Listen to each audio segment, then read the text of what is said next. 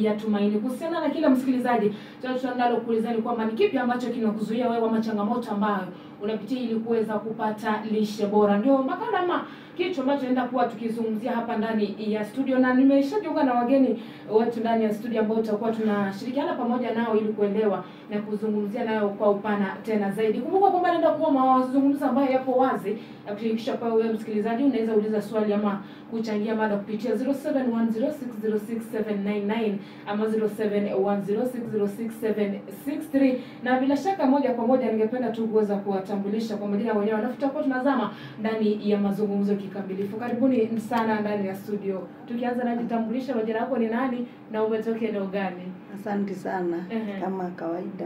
uh -huh. Kwa majina ni Jane Wangui Kuge Naam. na nimetoka pande ya Amref na Mhm. mimi ni kama CHV -hmm. wa Waithaka.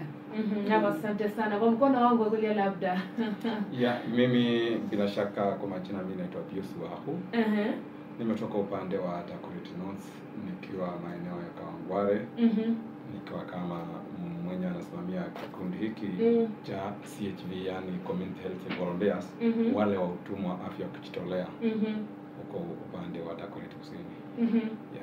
Asante sana, ningeomba uweze kusengea mic kidogo, ndiposa msikilizaji aweze kukusaidia uh, kusikiliza vizuri sana, sababu ujumbe unaenda kupitisha bila shaka ni muhimu sana kwa msikilizaji. Ndio hivyo basi, msikilizaji, ndani ya studio niko naye Jane Ngoi ni CHV eneo la Waithaka, naye pia Pius ambaye ni HVM, na ndio mambo wa watu ambao tunaenda kuzungumza nao hapa ndani, na mazungumzo haya yanaenda kuwa bora tena zaidi, na tumai ya kwamba unayepo yafuatilia bora tena kwa bora zaidi, anaenda kusaidia pale nyumbani. Na kama sijazungumza lolote, ningependa kuweza kucheza kitambulisho cha makala haya.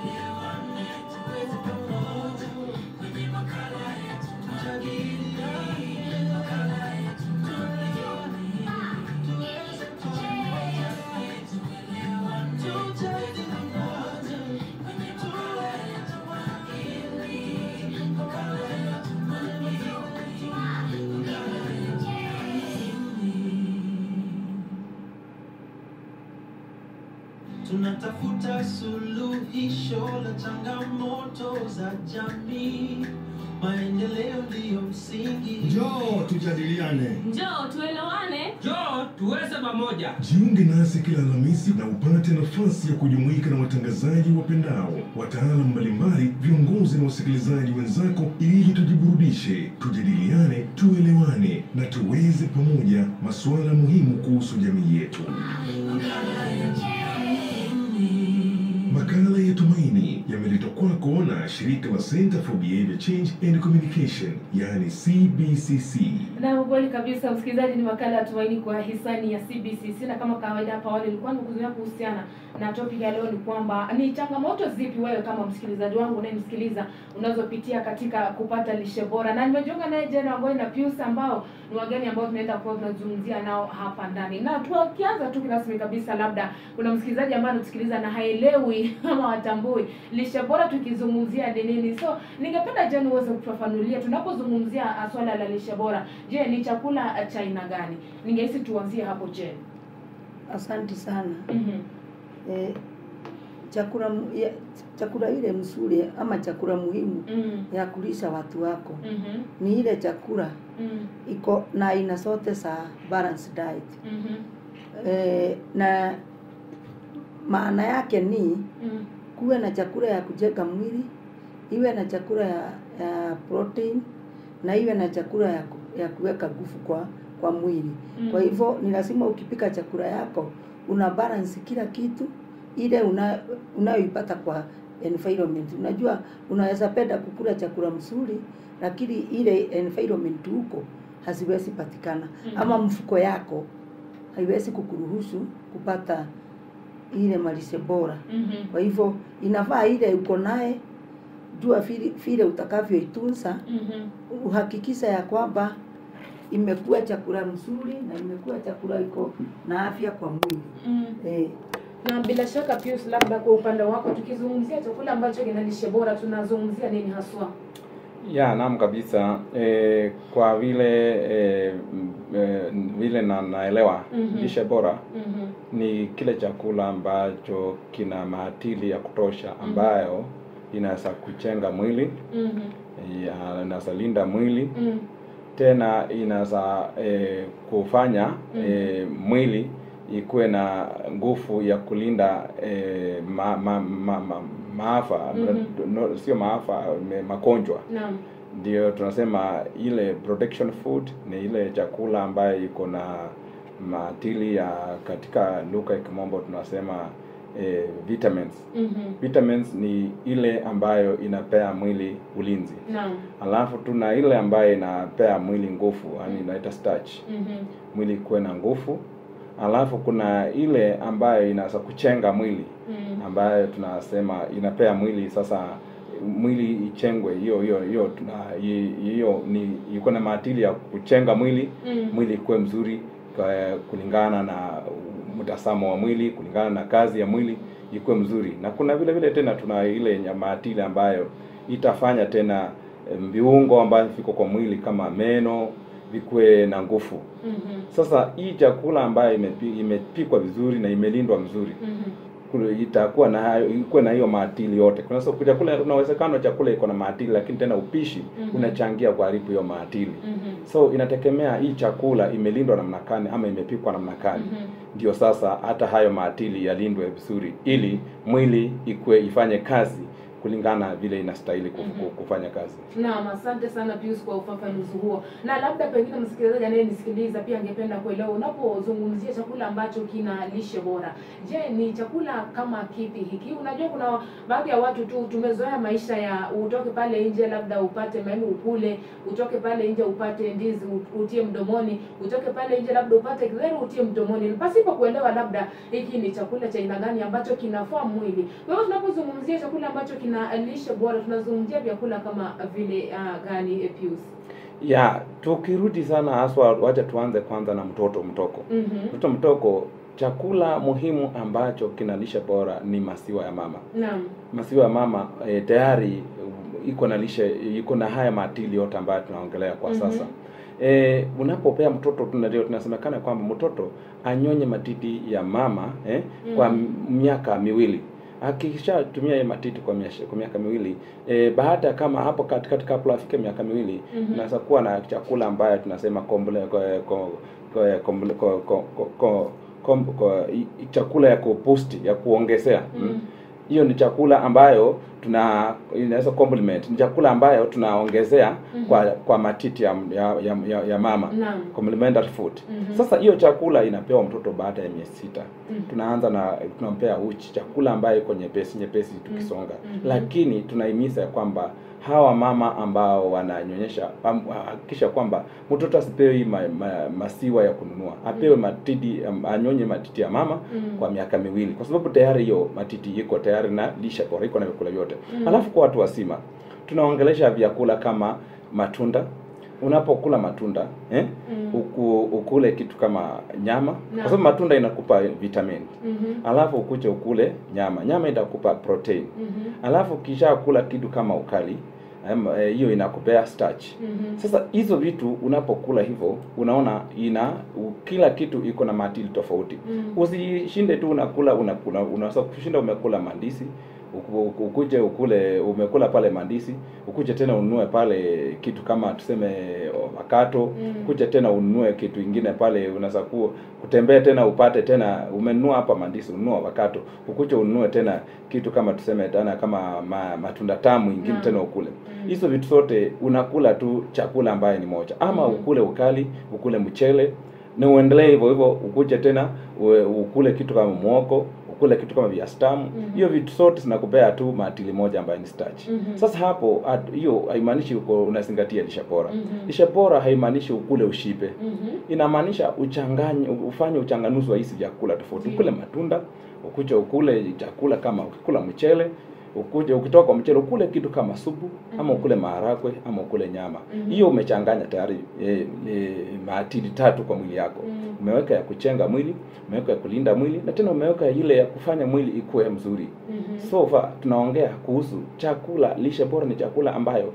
inalinda mwili wako kwa maatili yote kwa kila aina hiyo inalinda maneno na ugonjwa hiyo inapea mwili nguvu ile ambayo tena inapea mwili kukua kwa hali mzuri kukua ngozi ikuwe mzuri. Mm -hmm. eh, sasa watu husahau ana unaona hata kama ni nyama anakula nyama anakula anakunywa subu, ambayo yote huenda subu hiyo inategemea ni supu hii supu aina gani. Lakini yote ni proteini tu anakula anashinda anakula. Mwingine mm -hmm. naye anakula ukali ashibe kabisa unadhani amekula ukali ama amekula mkali amekula moko amekula amekuja ameongeza vitu kama kama vya stamu, tamu hiyo yote anakula starch Mhm. ambazo sasa si hatuongeleshi kuhusu vitu kama hizo hiyo Mhm, huwezi mhm. kusema ni lishe bora Ndio. yeah. Nam, asante sana Pius. Ah, naona ni dakika 30 baada ya saa tano asubuhi saa za kupokea taarifa za spoti. Alafu baada ya taarifa za spoti, msikilizaji, tutakuwa tunarejea hapa ili kuendeleza mazungumzo yetu. Kumbuka ni makala ya Tumaini, leo tukizungumzia uh, changamoto ama umuhimu wa kuzingatia lishe bora. Haya mazungumzo hapo wazi, pia unaweza shirikishwa,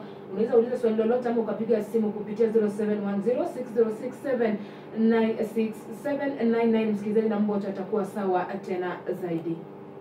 Tunatafuta suluhisho la changamoto za jamii. Maendeleo ndiyo msingi. Njoo tujadiliane. Njoo tuelewane. Njoo tuweze pamoja. Jiunge nasi kila Alhamisi na upate nafasi ya kujumuika na watangazaji wapendao, wataalamu mbalimbali, viongozi na wasikilizaji wenzako, ili tujiburudishe, tujadiliane, tuelewane na tuweze pamoja masuala muhimu kuhusu jamii yetu. Makala ya Tumaini yameletwa kwako na shirika la Center for Behavior Change and Communication, yani CBCC.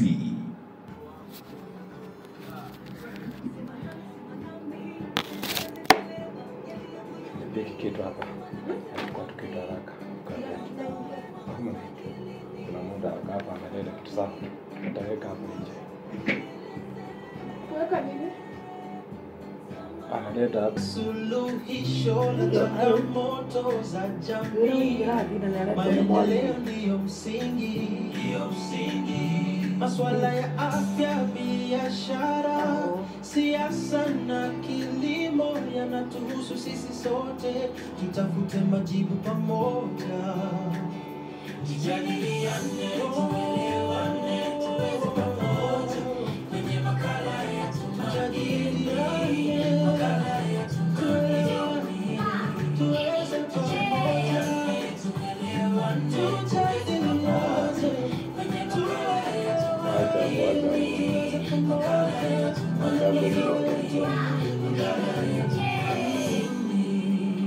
kabisa, msikilizaji, ni makala ya Tumaini kwa hisani ya CBC. Sina leo tunazungumzia kuhusiana umuhimu wa lishe bora mwilini mwako. Msikilizaji, bila shaka yote, niko nayo ndani ya studio Jen na Pius uh, ambao tunazungumzia nao kuhusiana na swala hilo. Nawe karibu sana ndani ya studio tena tuweze kuzungumzia hilo swala.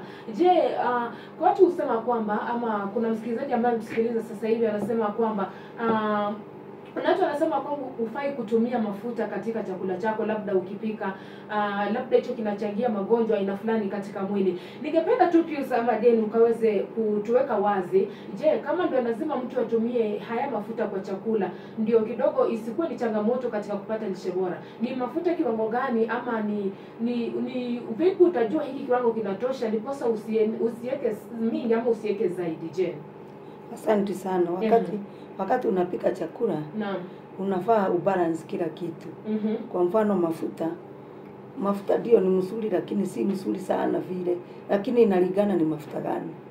Kama iko na hii mafuta ya salad, saa ingine hiyo haina cholesterol mm -hmm. Kwa hivyo hiyo hiyo unafaa utumie, lakini usitumie mingi Naam. kwa chakula, na uchuge ile chakula unapika kulingana na vile mwenzangu amesema, Mm.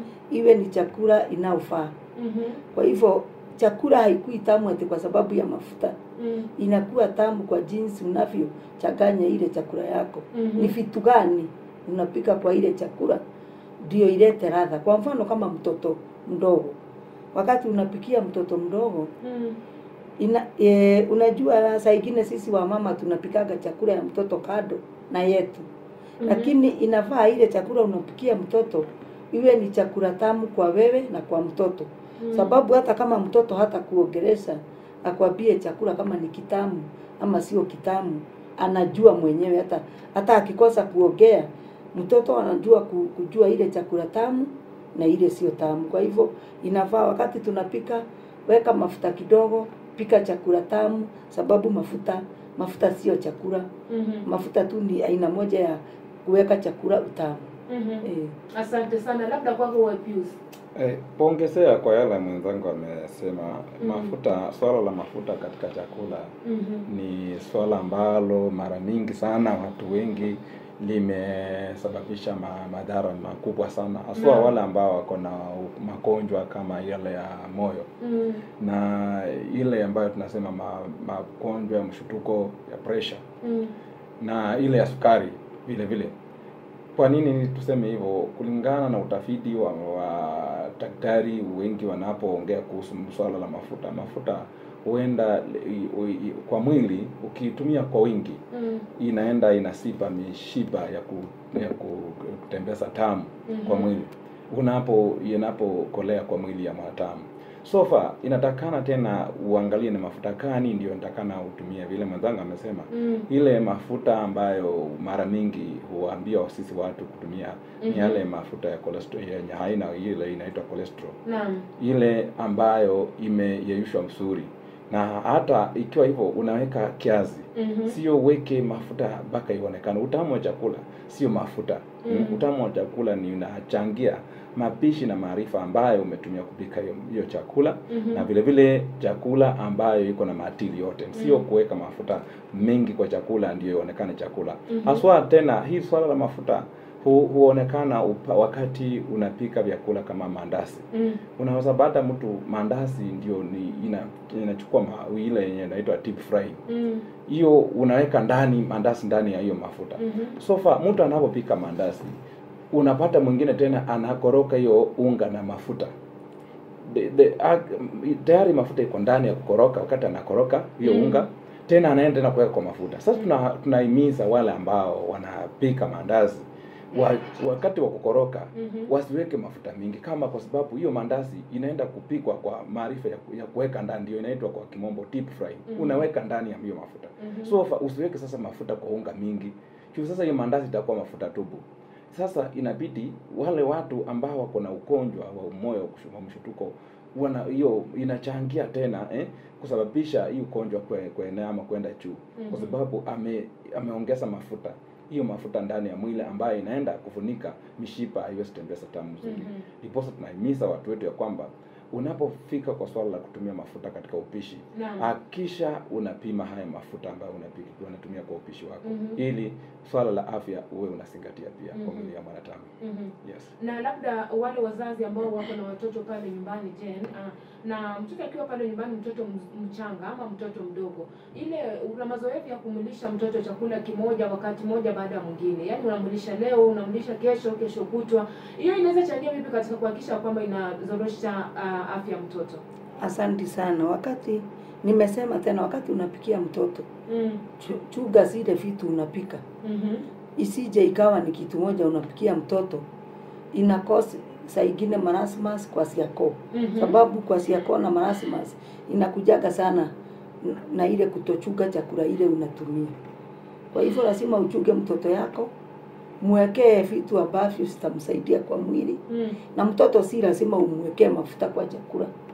Saa ingine unaweza tumia, unachemsha chakula ya mtoto vizuri sana, unachanganya karoti, viazi, sukuma, spinach, kama disi moja ile bichi, yaani na, na, na, na, na, na marenge pia unaweka, inakuwa eh, chakula kitamu hata ukiiona kwa kwa macho yako Mm. sababu mtoto ana, ana hata yeye mwenyewe anahisi kile kitu, kitu kibaya na kile mzuri -hmm. ni vile hawezi hana uwezo wa kuongea mm -hmm. tena pia usimpee chakula leo ile ulimpea jana usimpee kesho mm -hmm. jaribu kumbadilishia chakula na pia na, na ndio maana pia ulinde afya yake unapopea mtoto chakula moja haiwezi kumsaidia kwa mwili na ndio unakuta watoto wengine wakipelekwa kliniki unakuta wamefika mahali mpaka wama, wanapewa propinat mm -hmm. ati ndio mtoto wanyonye hizi aongeze nini? Sababu we uko na akili na una ma, we uko na chakula yote imeku, imekusikia kwa mfano kwa masoko.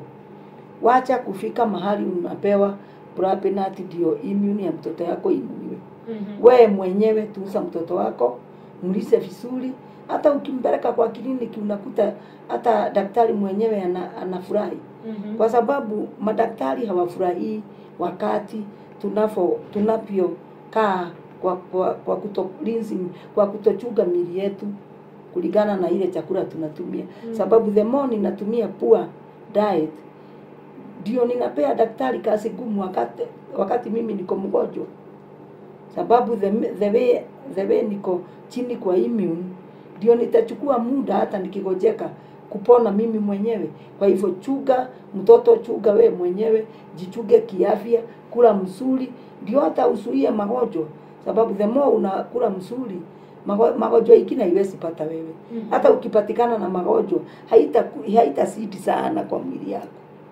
Naam, asante sana. Labda kwako Pius, kuna changamoto zipi katika mzazi kuendelea kupea mtoto chakula kimoja tu kila wakati?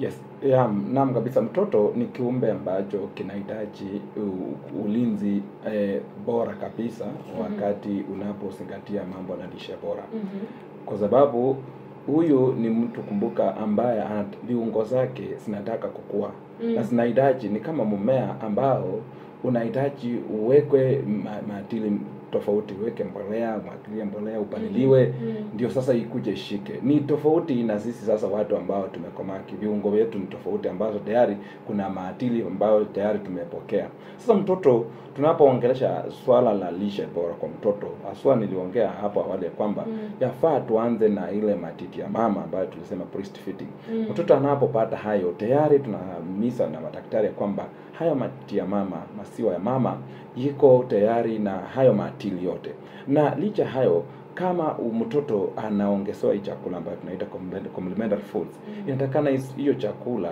uiangalie unampea chakula kani Kama ni uchi, angalia uchi ikuwe iko iko uchi aina kani sio uchi tu uende ya kawaida kama hii yetu. Mm. Hata ukiweka kama sukari kwa hiyo usiweke sukari ikuwe mingi, na Mhm. ukiongezea pale kitu kama blueband usiweke sasa mingi. Una, unaangalia hiyo uchi ni tofauti na ile yenye sisi tunakunywa Mm. ni mtu mzima anakunywa, kwa sababu huyu mtu mzima tayari ako na ako ako na maadili ambayo tunatafuta mtoto ayapate.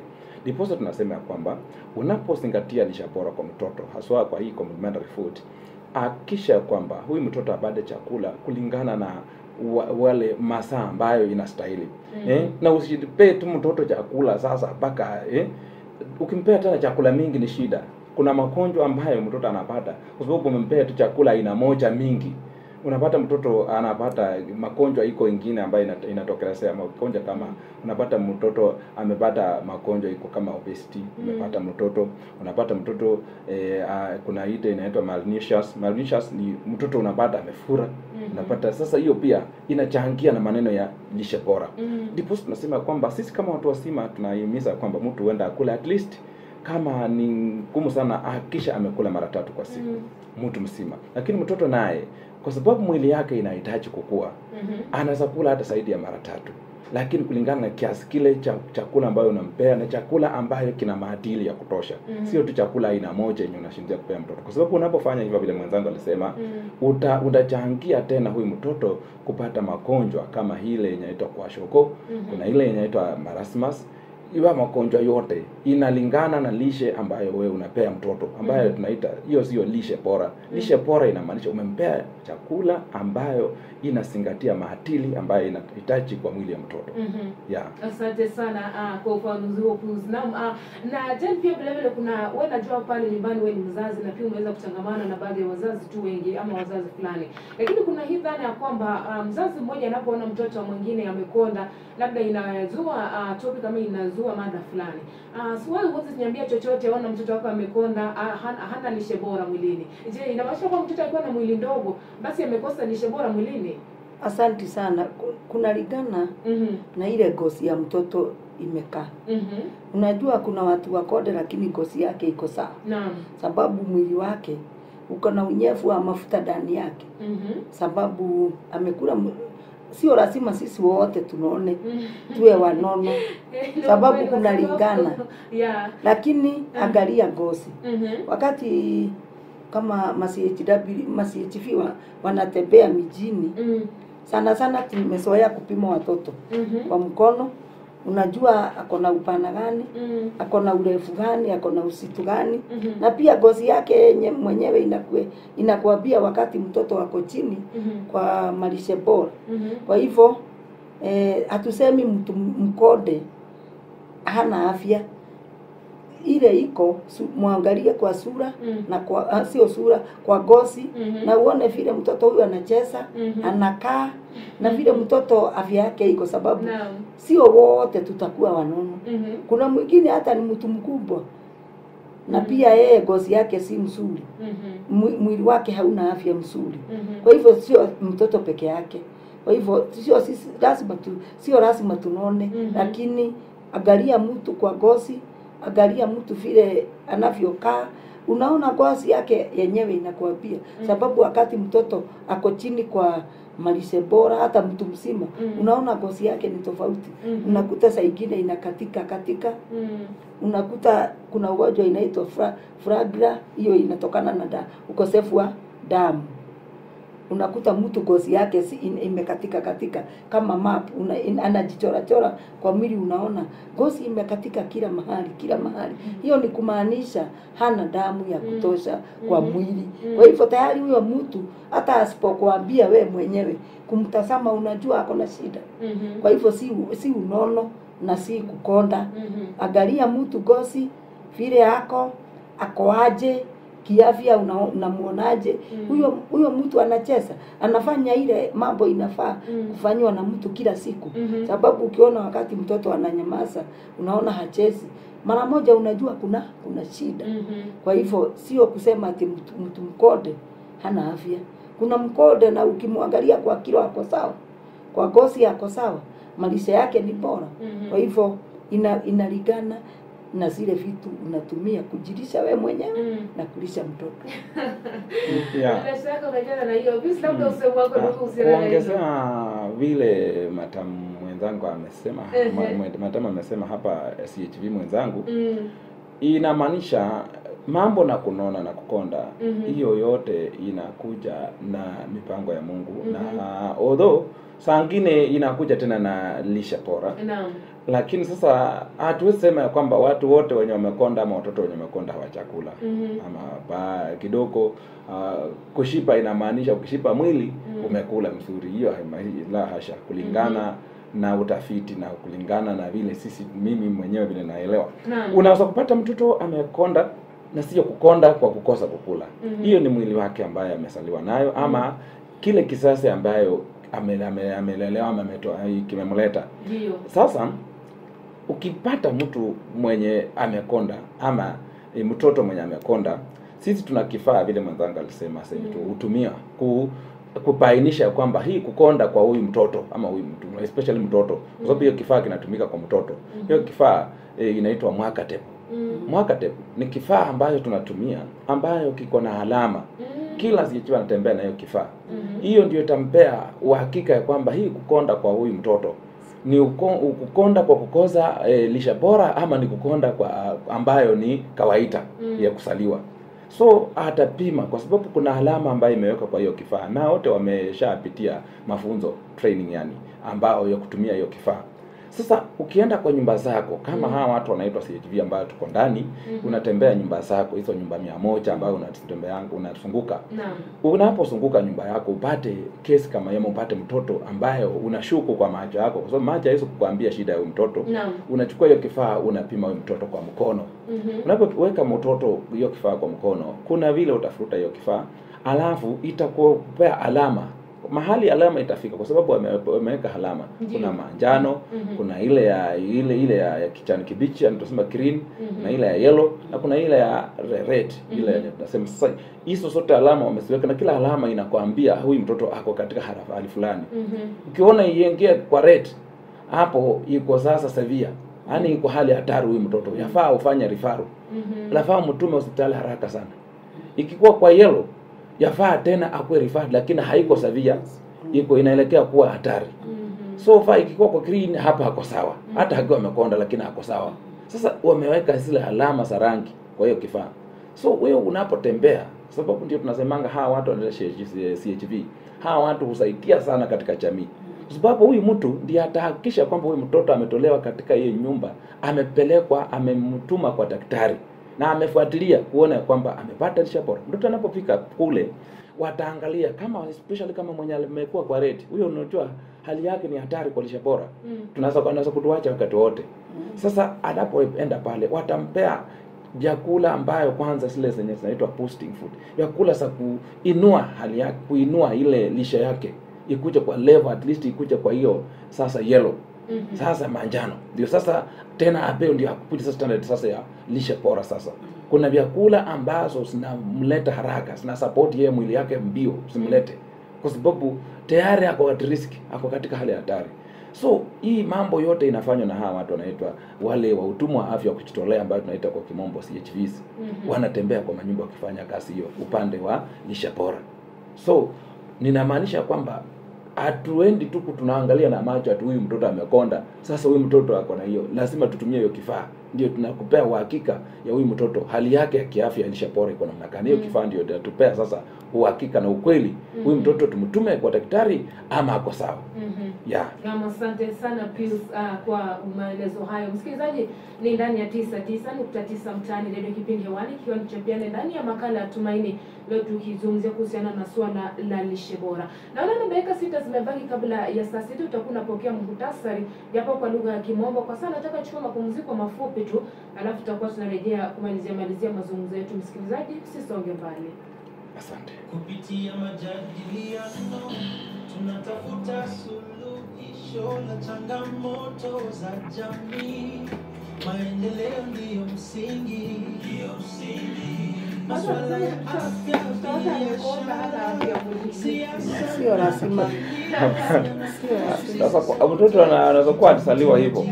Na sasa sisi wengine unaweza zaa mtoto kulingana na mwili yako. Unajua sasa sisi wazazi wote wende tuko na mimi ama jamii hiyo iko na hizo mwili, mtoto atapata tena hizo mili za jamii. Huenda imefuata hiyo che, che, che, che, chinzi ya mama na baba ama ya hiyo ukoo. Sasa sio kukonda mtoto amekonda juu hana afya. Unaweza kupata mtoto hata unaona kwa macho yako amekonda lakini ukienda kwa kilo mtoto ako sawa. Hmm? na ukienda mwili yake imeteresa mtoto ako sawa. Mm. lakini uende mwingine amenona kumbe na yayo ndio ako na shida. Ndio ako na magonjwa hata. Mm. sio kunona kwa kawaida. So hiyo kukonda ama kunona haichangii sasa kuwa ya kwamba mtoto sasa hana mapenzi.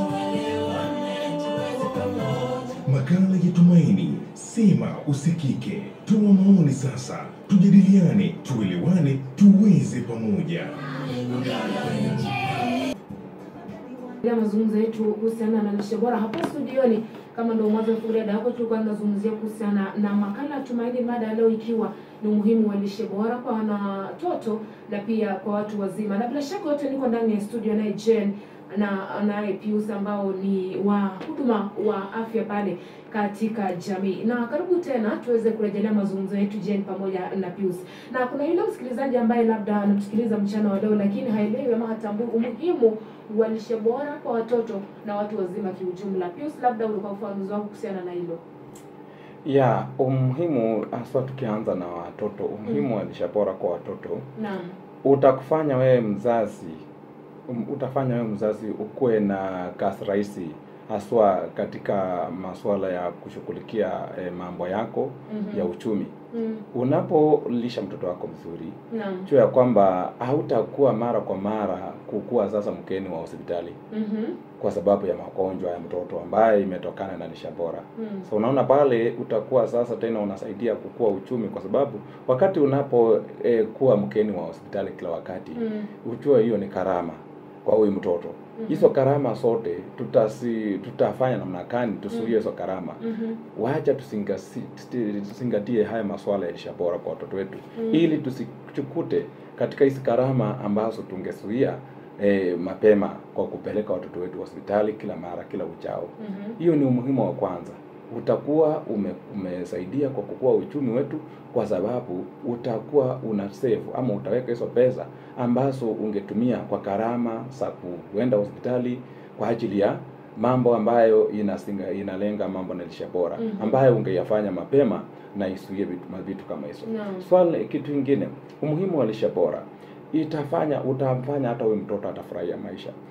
Eh, Kumbuka mtu anapo anapokula vizuri, mtoto anapokula vizuri, huyu mtoto mahali hako, hata mahali anatembea, anajihisi yeye pia ni mwanadamu katikati ya wengine, kwa sababu utapata magonjwa ambayo ina, ina, ime, imekumba huyu mtoto, wewe ulichangia kama mzazi kwa sababu ya mambo na lishe bora. Mm. Mtoto sasa anapojumuika na watoto wengine anajiona, ona for example, naona mtoto unaona eh, kuna magonjwa ambayo yanatokana, unapata kama mtoto hata kwa vichwa, unaota kichwa, unaona hapa kwa kichwa mtoto anaanza kujikuna, unga unga sikitoka. Hiyo Mm. ni maneno ya lishe bora, minyoo iko kwa mtoto, kwa sababu hiyo ni mambo na lishe bora vite utiwa yani utatiwa mu mtoto kwa sababu minyoo imekuja anakula vyakula ambavyo kuna uchafu. Sasa hiyo mtoto anapokaa na watoto wengine utapata huyu mtoto hana furaha kwa sababu wengine wanaanza hata kumuita majina, wewe uko na mashilingi kwa kichwa, wewe sijui nini. Mtoto hata anaanza kujiona kama yeye, kwa nini kichwa yake iko tofauti na vichwa za watoto wengine? Ndipo tunasema kwamba huyu mtoto ata- atajiangalia kuwa tofauti sana kwa watoto wengine, wewe nao kama umechangia masuala kama hayo. So far tunaambia watu ya kwamba kama mzazi majukumu lako kama mzazi ni kuhakikisha kwamba hili swala la lishe bora unalifuatilia sana kwa upana na kwa ukaribu kabisa, ili mtoto asikuje ajihisi kama yeye si bora kwa watoto wengine. mm-hmm. Kitu jambo lingine la tatu, unapozingatia hili swala la lishe bora kwa mtoto wako no. ama jamii, Mhm. lishe bora kwa jamii, hata hiyo jamii itakuchukua kama wewe ni mtu ambaye unafaa, ni mtu tena kama bora, utakuwa na heshima zako. Mhm. Ona m- mama ambaye anajua kuzingatia ile swala la lishe bora mm -hmm. ama mwanamke ambaye ako kwa nyumba yake anazingatia ile swala la lishe bora, huyo mwanamke ama huyo mama ama huyo mzee anapendwa sana, anakuwa mtu ambao ni kipaumbele sana, kwa vile anajua kupangilia familia yake, anajua kulinda familia yake. Unapomuona hivi, anakuwa kama ni mwanamke pomba, anaelewa kitu ambacho anafanya na hata atakuwa kama mtu ambaye ni champion kwa kuzingatia ama kuweka haya masuala ya lishe bora kwa jamii. Jamii itakuwa inamuona kama ni kipaumbele ama ni mtu bora sana kwa kupangilia mambo na lishe bora, Mhm. mbali na ule mwanamke ama ule mtu yoyote ambaye haelewi ama hana haja na mambo na lishe bora mm -hmm. anapanga, anafanya tu ana chakula anaki, anakienzi tu kwa, kwa vyovyote vile anaona mm -hmm. so unaona mtu kama huyo hata katika jamii haiwezi kumwangalia kama ni mtu mwenye anafaa. Kumalizia, lishe bora, mtu yoyote ambaye anazingatia ma, ma, maswala ya lishe bora, huyo mtu anaweza hata ku, anaweza hata kupata ma, be, kazi mahali mm -hmm. ama anaweza ku- kuwa mtu ambaye mahali tuna shughuli yoyote ya kufanya ku- ku- ku- upishi ama kitu yote na anaelewa yale maswala Mm. unaweza kupata iye anakuwa kama kiteka kiteka mjuzi anachukuliwa mstari wa mbele anakuwa pale ana anaweza kuwa hata mtu wa kuelimisha watu wengine katika jamii. Kwa sababu mtu mwenye anaelewa masuala kama haya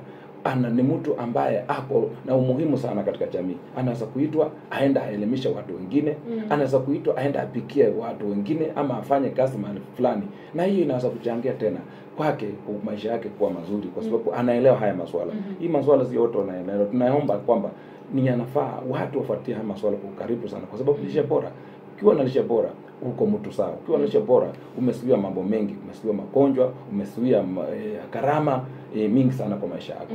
Ni hayo Naam, asante sana Pius. Na hapo jana, labda kuna yule msikilizaji ambaye pia anasikiliza mchana mchana wa leo, na wale watu ambao wamejitenga tu kwamba ana unapata watu wamekaa pamoja wanakula na kijibakuli cha fruits na wanasema kwamba wana balance diet ama ndo wanasema kwamba wanapata lishe bora.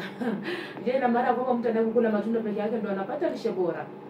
Hapana, mm -hmm. ningetaka kusema mm -hmm. good health starts with a mother. Mhm. Wakati eh, mwenzangu alisema mambo ya kulisha mtoto Mhm. kwa matiti, Mhm. Foundation ya mtoto inaanzia kwa ma, ama mtu yote. no. Unajua kuna wakati nilikuwa mtoto mm -hmm. kwa mama yangu, mm -hmm. wewe kuna wakati ulikuwa mtoto kwa mama yako. Ndiyo. Foundation yako mm -hmm. inatokana na jinsi mzazi wako alivyoiweka. mm -hmm. Wakati unanyonyesha mtoto continuous miezi sita, mm -hmm. ni kujenga, unajenga foundation ya mtoto.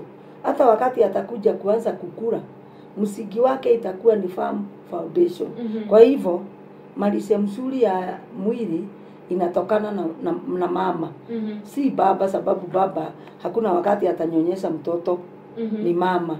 Ma- Naye baba pia analishwa vizuri na nani? Na mama. Kwa hivyo msingi mzuri wa kukula vizuri sio matunda peke yake na sio githeri peke yake na sio mchere peke yake na ugali, ni mchanganyiko wa chakula ambao iko na madini yote ya kujenga mwili. mm -hmm. Kwa hivyo sisi wamama tuchukue jukumu, angalau upate kidogo kidogo, lakini ujue ile chakula umewekelea kwa jiko. Iko na kila kitu ya kusaidia mwili na pia ya, ya, ya kuzuia maradhi eh, eh, magonjwa. -hmm. sababu wakati wewe sio mgonjwa uko uko na unakuwaga uko uko kwa hali mzuri sana. Wakati un, unagojeka kila wakati hata wewe mwenyewe unajisikia hauko kwa hali mzuri.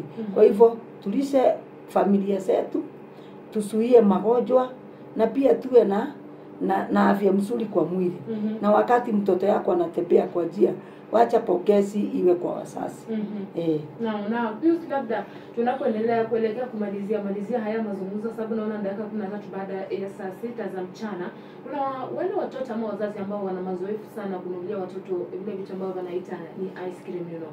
Napenda ningependa tu uelezee msikilizaji ambaye msikiliza mchana leo, athari ya ice cream kwa mtoto mdogo ni vipi? ya kunavyo vitu ambazo eh, wasasi vile umesema eh, ndani ya studio eh, umesema mambo ya kununulia watoto mambo na ice cream no. hali kadhalika vitu kama masweet Mhm. hizi vyakula siko na madhara makubwa sana kwa watoto Mm. e, tunasema ya kwamba mtoto asiwe yeye ndiye anakupea mwelekeo ya kumpangia mambo na lishe bora mm-hmm. kwa sababu kuna wasasi ambao wanapenda wazazi watoto kiasi kile mtoto anaposema tu kitu lazima aende alete hiyo kitu na bila kuelewa hiyo kitu madhara ya huyo huyo- hiyo kitu kwa huyo mtoto ni yapi sababu wewe pia unapofanya hivyo jiulize baba yako ama mama yako alifanya hivyo ndio ukakuwa hivyo kweli? Mm -hmm. sasa wewe unafanya kwa sababu hujafanya utafiti wa kutosha kuhusu haya vitu hizi vitu vyakula ambazo unanunulia mtoto wako. Vyakula kama hizo e, watu ambao wanazinunua hujui mapishi ya hizi vyakula zimepikiwa wapi zimetengenezwa wapi. Kwa sababu vyakula mingi unapata mingi ziko na ile vitu zenye tunaitwa chemicals Mhm. vyakula ama zinatengenezwa na mambo zingine ndani ambazo zinaenda ku, ku, ku, ku, kuleta madhara kwa afya ya huyu mtoto Naam. unapata hizi vyakula zenye ziko na chemicals zinaenda kuumiza huyu mtoto wewe unanunua hii chakula kwa bei nafuu ama ununue chakula chufurahishe mtoto wako lakini gharama yenye utakucha kuchangia kwa kutibu huyu mtoto anapoathirika kwa kupitia kwa hizi vyakula ni gharama kubwa Mhm. For example hacha turudi tena kwa chakula kama hizi sweets zenye unapea watoto wetu. Mm-hmm. angalia karama ya, ku, ya, ya, ya, ya, ya meno. Mm. unapata mtu anapokuwa unapata meno inaanza kuto, kuto, kuto, kuto, kutoka. Meno inaanza ku- ku- kupata mashimo. Ukifuatilia utapata huyu mtoto alianza kukula vyakula tamtamu. Anaanza kula hizi vitu zikienda kwa meno. Kwa sababu huyu mtoto hata pika mswaki akishakula hizo vitu na zinakwama kwa meno. Unapata mtoto maisha yake anakaa ana, ana, ana, anakaa anakosa meno. Ama ifika leo fulani unapata mtoto mdogo meno inauma. Kwa nini? Alishinda kukula maswiti kukula vyakula ambazo zilibaki kwa meno yake. Sasa unapata karama tu ya kutibu meno. Ukiangalia mzazi ama msikizaji wenye unanisikiza sahii karama tu ya kutibu meno ni pesa ngapi? Unaona Sasa hizo karama kwa nini tunakuja tuna wenyewe tunajijengea hizi karama tukuje wenyewe tushu, tu, tu, tu, tu, tu, tu, tuanze kuchuta kwa kukaramika vitu kama hizo. Mm -hmm. na ambazo tunaweza kuzizuia mapema kwa kukosa kuanza kuchangia kwa kununulia watoto vitu kama hizo. Mm -hmm. unapopea mtoto vyakula ambazo ziko na makemiko unanunua vyakula kwa barabara mtu ameleta tu vyakula ameweka marangi wewe unapea mtoto. Wakati magonjwa inaenda kulipuka kama makanza kwa mwili ya mtoto. Ugonjwa kama kanza una una unatoka pesa ngapi kutipu? hata singine huwezi kutipia hapa Kenya. Sinaenda mpaka ng'ambo. Na ukifuatilia wewe mzazi ndio ulichangia. Kwa sababu mtoto aliona tu baba ameniletea mama ameleta chakula. Anaona ameniletea swidi. Ama aliona mtoto mwingine.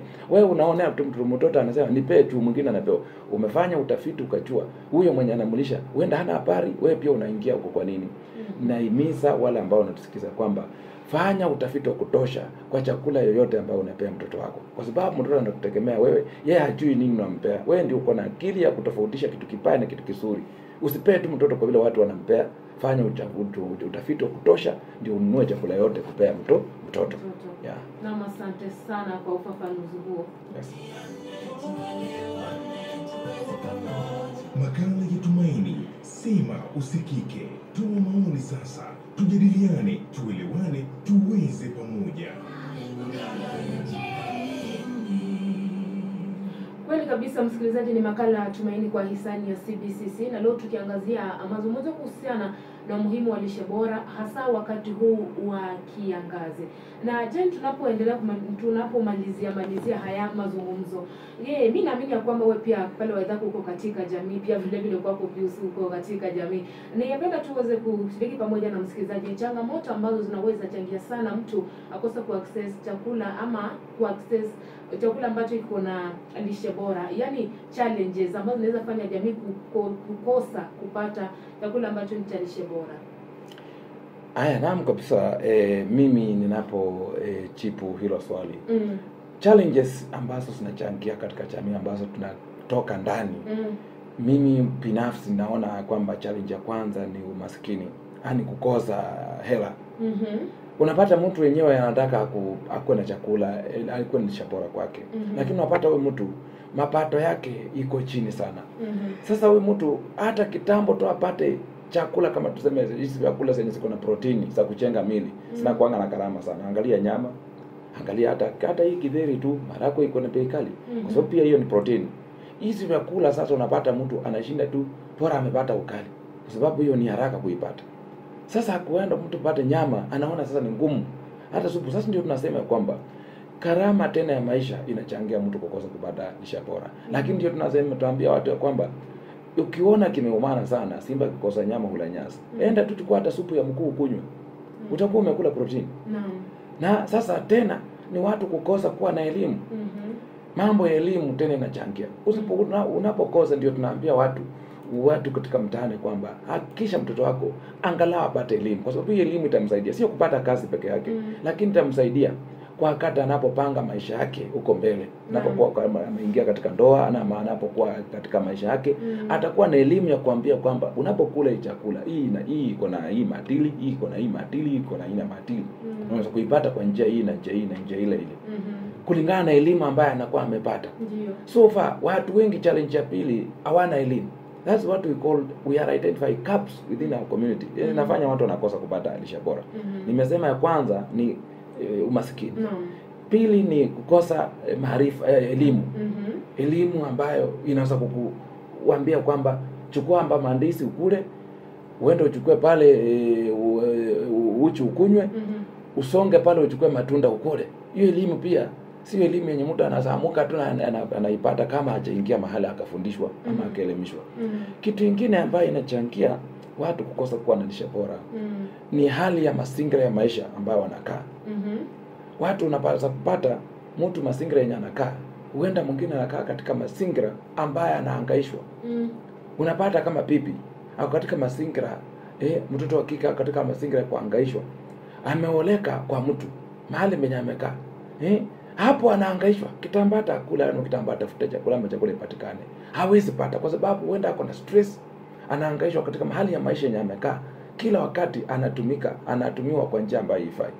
Chukua eh, mfano mtu tuseme mtoto wa kike ameoleka, na kila siku anaambiwa na mzee yake, wewe umekuja hapa kukula na kujaza choo, kuharibu vyakula yangu. Mhm. Unaona mtu anasema wewe ukula vyakula yako, hata mimi siwezi kula. Anawacha, anasema sasa mimi siwezi kula hiyo vyakula kwa sababu nakula ninatusiwa. Mhm. Sema mimi nimewahi kuona eh, hali kama hiyo. Mtu anasema mimi nitakaa hata siku mbili sikuli chakula yake. Heri nisikule juu nakula na ananitusi. The same uenda wewe mwanaume uenda unataka kula the mtoto wa kike anakutusi. Sema wewe unakula wewe ulinunua ulijua ilitoka wapi? Unakula yenye umenunuliwa na mtu. Sasa mtu anasema ah hata waacha nikae hivyo. Sasa unapata hali ya maisha mazingira ya kukaa inachangia ama mtoto mtoto huenda amelelewa kwa mtu mama wa kambo Mm. ama amelelewa mahali ambapo unaona sasa huyu mtoto anaona akikula anafanya makosa. Sasa huyu mtoto hata inapiti kukula kwake anakula aki. Mwingine anasema unakula sana anakula anasema wewe umekuja hapa unakula chakula mingi. Eh anaambiwa vitu kama hizo. Sasa mazingira inachangia hata huyu mtoto aweze kukula akiwa free. Mm. Kiona chakula anasema huenda nakula nita- nitatusiwa ama nitachapwa. Mazingira inachangia tena mtu kukosa kupata matira kukula chakula ambayo anahitaji. Mhm.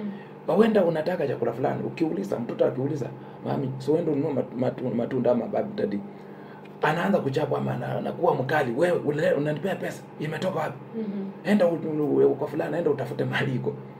Unapata vitu kama hizo tena zinachangia watu wetu kupata lishe bora. Kitu ingine ni ile tunaita antioxidants, tunaita dhana tunaitanga sterilize hizo Mm. hizo kuamini yani jamii zingine zinaamini. Kuna watu wengine wanaamini ya kwamba kukula vitu zingine sijui huwezi kula ama chakula fulani iko nini. Mm. unapata mtu eh, unaambiwa hata uh, mwanamke mjamzito ati usikula mayai. Hati sijui ukikula mayai. Sijui mtoto atakuwa na yani wanaambiwa hivyo. Kuna vitu zingine watu wanaamini ka kwamba mtu unapata sasa ati mimi nimeona watu mtu anaambia wewe mjamzito usikule mayai. Ukikula mayai ut- sijui ut- itakuwa namna gani? Sasa mtu anakuja anaamini ati walikuwa wanasema wajawazito wasikule mayai. Na huenda akikula mayai apate afya, lakini anaambiwa tu, kuna mtu anamwambia usikule kuku. Eh, ukikula kuku sijui nini itafanyika. Sasa mtu anaanza kusema hiyo, na mtu ameleta hiyo maneno ilikuwa imepitwa na na wakati. Sasa unapata mtu afya yake anakosa kula vitu ambazo ziko na, na maadili kwa sababu ya kuamini hizo vitu mm. ambazo zilikuwa za kitambo, ambazo zilikuwa katika jamii fulani walikuwa naamini hivyo. wenda walikuwa wanafanya hivyo ili wa- waume wakulenga mayai peke yao ama kulenga kuku peke yao mm. hawakuwa wanataka juu walijua wakina dada wanakaa karibu na kuku huenda watazoea kukula kuku siishe sasa wakaleta hiyo maneno ati usikule kuku ama usikule mayai mm. ili kuku zitekwe sikuwe mingi walikuwa wanafikiria vitu kama hizo. Lakini haikuwa inamaanisha kwamba italeta madhara kwake akikula. Mm -hmm. so mimi naona hizo ni baadhi za vitu ambazo saa ingine za kudhangia mtu mtu -hmm. kukosa kupata kukula vyakula ambayo inastahili kwa sababu ya vitu kama hizo. Na nikimalizia unaweza kupata tena nimeona tena swala la kina dada zetu wengi Mm. wamezoea kukula hizi vitu kama hizi ma, mawe. Unapata mtu anamumunya mawe tu anamumunya mawe na hii mawe ukiona hii mawe ajui ilitoka kwa jiwe gani. Huenda ime hiyo jiwe yenye walitoa hiyo mawe. Hujui watu walikuwa imefanyiwa uchafu gani ama ilikuwa nini. Kwa sababu hiyo mawe nayo inaamini haikuoshwa mahali. Mhm. sasa mtu aliyetoka kata hiyo mawe na akaleta kwa- akaleta sokoni kuanza kumumunya ujui hiyo mawe nani alikalia? Ujui mawe iliwekwa nini. Sasa unachangia kuleta tena afya mbaya kwa mwili yako. Sasa mimi naona vitu kama hizo kwa sababu hata haichawekwa hata haichawekwa kwa karatasi ikakuwa sealed haichapitia hata kwa hiyo mawe haichapitia kwa Kenya Bureau of Standard ikachunguzwa Mm. kama iko sawa sasa unapata kina tatizo wetu kwa soko bwana eh, wamenua mtu ame, ameweka mawe hata wengine anakula nyumba mzima nyumbani unaona hii yenye hii mawe ya unaona mwana mwanatata anatoa kwa kichapu shika mimba anaanza kutoa hiyo nyumba anaanza kula mpaka hapo- moyo imalize Mhm. na hajui hiyo mawe ilikoroka na uchafu gani. Yes Asante Asante sana Pius kwa uh, kwa- kwa uongozi huo. Na kwako labda je, naamini wewe pia ni uko katika jamii na hata wewe mwenyewe labda ni kitu gani ambacho kinaweza changia kutopata lishe bora hasa wakati huu? sana sana ni, ni, ni, niweke nguvu maneno ya mwenzangu Mm. hii mambo ya kupata pesa Naam.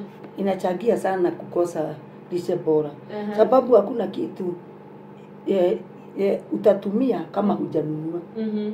Kwa hivyo hiyo eh, kukosa pesa ni pad, ni pad moja ya kuchangia lishe eh, lishe bora no. sababu huwezi kula nyama mm -hmm. kama huna pesa Mhm. huwezi kula matunda kama huna pesa Mm. -hmm. kwa hivyo tuge tugesema kama sisi eh, kwa mfano wale tuko na mashamba Mm. tujaribu e, kupanda sukuma, kupanda spinach, jaribu kuweka mti wa avocado Mhm. ile ile ile vitu itaku iko karibu na wewe Mm. jaribu kupanda. Naam. Tulisema siku ingine tusaidiane. Mhm. Kwa mfano mtu mwingine ni, ni tenant na mimi ni mwenye shamba Mm. jaribu kusaidia wenzako uwainue, sababu wakati rafiki yako ni mgonjwa Mm. pia wewe pia uko wewe uko na shida, sababu utakuwa ukimchunga kila siku, unatumia pesa yako, unatumia mali yako.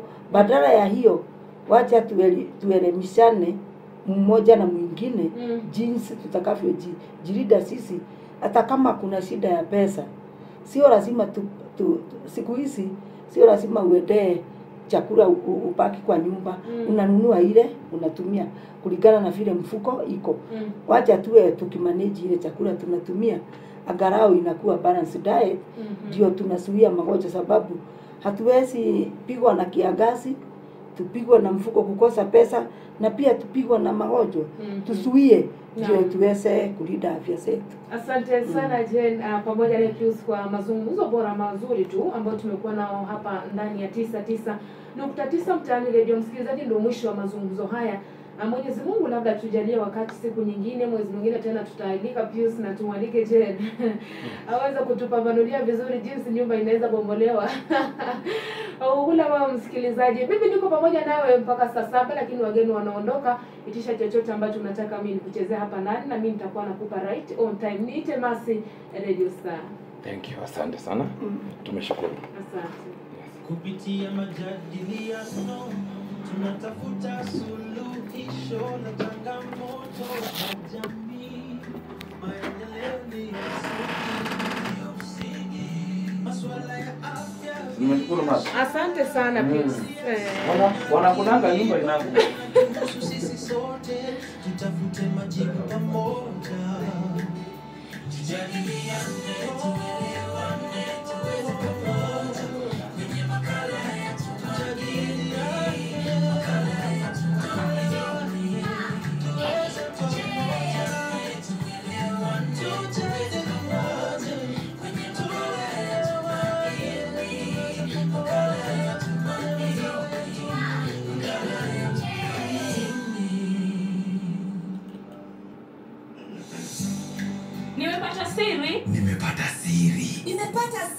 Nimepata siri. Nimepata siri. Nimepata siri. Nimepata siri.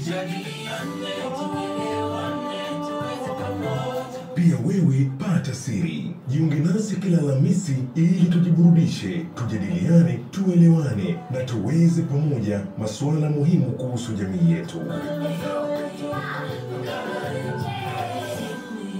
Makala ya Tumaini yameletwa kwako na shirika la Center for Behavior Change and Communication, yani CBCC.